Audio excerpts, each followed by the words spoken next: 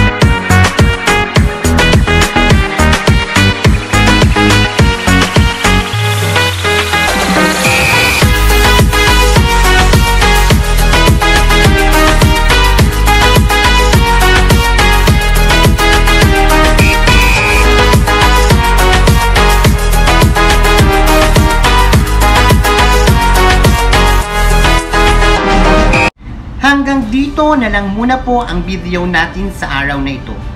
Naway nadagdagan po ang inyong kalaman.